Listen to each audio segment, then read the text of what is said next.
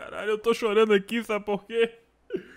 Porque no vídeo de hoje será as mortes mais tristes dos desenhos. E eu tô muito triste porque eu acabei de montar o roteiro.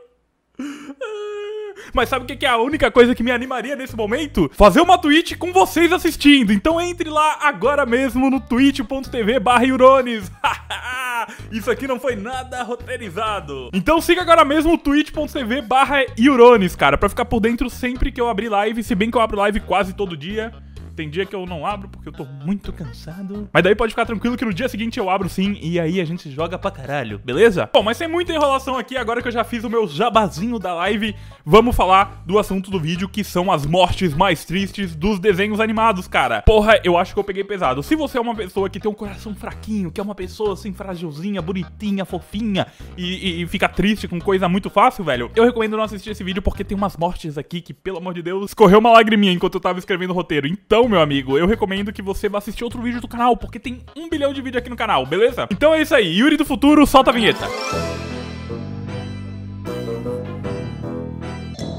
A primeira morte aqui da nossa lista é de Seymour, o cachorro de Futurama. Se você também é uma daquelas pessoas que amam os doguinhos, cara, e é completamente apaixonada pelos cães, sério, eu recomendo que você pause esse vídeo aqui e vá buscar alguma coisa para enxugar suas lágrimas, porque essa morte aqui, meu amigo, toca aqui no peito. Em algum lugar aqui que eu não lembro onde que fica o coração. Antes de cair em uma câmara incubadora de criogenia e dormir até o próximo milênio, século, eu não lembro, eu não lembro direito, é, é, eu acho que é milênio. Fry, na sua vida passada, ele tinha adotado um cachorro, ele não tinha literalmente adotado um cachorrinho, né, mas ele tinha um amiguinho que era um cachorrinho. Era um vira-lata de rua que ele apelidou de Seymour. E através da paixão pela pizza, Fry e o cachorro se tornaram bons amigos. Seymour era um verdadeiro companheiro sempre ao lado de Fry. Ao saber que Seymour viveu até os 15 anos, Fry achou que o cachorro havia encontrado um novo dono.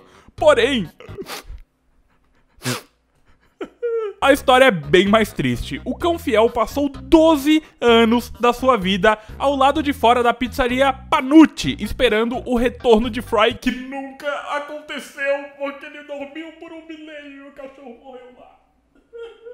Pô, na moral, cara, cachorro é o meu ponto fraco, sério. Se mexer com cachorro, eu fico muito triste. É que nem aquele filme lá do cachorro que, que, que o dono viaja, sei lá o quê, e aí ele fica esperando o dono, e aí tem até uma estátua. Eu não, não lembro o nome do filme, cara, mas é, é bem triste aquele filme. Chorei muito assistindo aquilo, velho. Puta que pariu, meu Deus do céu, cara. Bom, e a próxima morte aqui dessa lista, cara, só tem duas opções. Ou você não assistiu a cena e não sabe o que aconteceu com esse personagem, ou você chorou. Só tem. Não, não tem a possibilidade de você ter assistido e não ter chorado com a morte do Pairulito de apenas um show. Não é segredo para ninguém aqui, cara, que apenas um show é uma obra que mistura a realidade com um pouco de.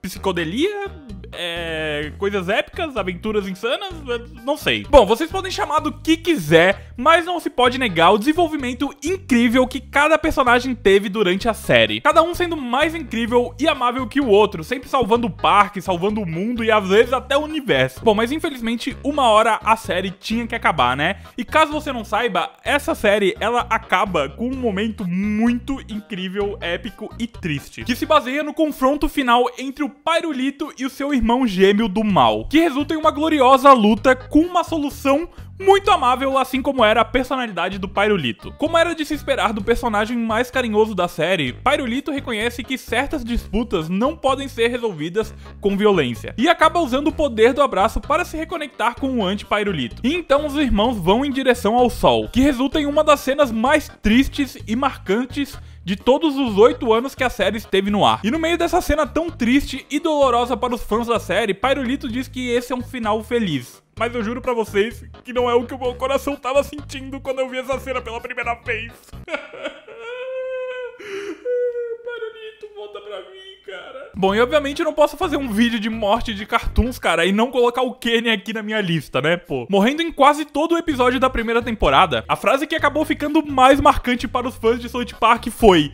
Oh meu Deus, eles mataram o Kenny! Em seguida de filhos da puta! Depois dos produtores transformarem a sua morte em uma piada recorrente, South Park decidiu usar uma abordagem um tanto quanto diferente no episódio Kenny Morre da quinta temporada, retratando a morte do Kenny como permanente, ou quase isso, porque ele sempre volta, né? Bom, mas de qualquer jeito, o episódio mostra o Kenny como um doente em fase terminal falecendo aos poucos em um quarto de hospital. E em vez de retratar o momento como uma piada, como é quase sempre vista no show, Kyle e de certo modo Cartman ficam de luto pela morte prematura do seu amigo. Bom, mas é óbvio que eventualmente Kenny é trazido de volta, mas por algum motivo, depois desse episódio, ele para de morrer com tanta frequência no show. Bom, e a próxima morte dessa lista aqui é de outro cachorrinho dos desenhos, cara. Então já sabe, né? Vai lá e pegue seu paninho, seu lencinho, pega, sei lá, qualquer coisa para enxugar as lágrimas. Bom, para quem é fã de Family Guy sabe que a maior parte do humor utilizado no desenho é bastante pesado. Porém, na minha opinião, na minha, tá? Não precisa me xingar. É isso que torna o desenho muito da hora. Porém, meus amigos, não tem nada de engraçado na morte triste de um cãozinho bonitinho como era o Brian. Tudo tem limite. Não mexe com os dog. Vítima de um atropelamento seguido de fuga, cão da família Griffin sofreu ferimentos horríveis e sérios. E sem contar com sequer uma piadinha para aliviar um pouco a tensão da cena, a série retrata a colisão fatal em pequenos detalhes. O veterinário não consegue salvá-lo de maneira alguma. E surpreendentemente